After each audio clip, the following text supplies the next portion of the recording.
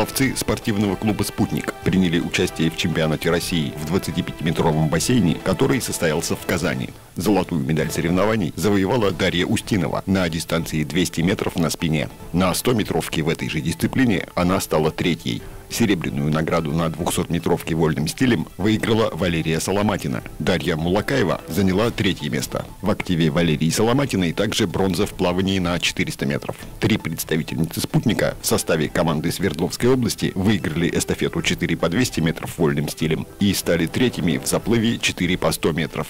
По итогам стартов Дарья Устинова вошла в число участников сборной России для выступления на чемпионате Европы, который пройдет в декабре в Глазго.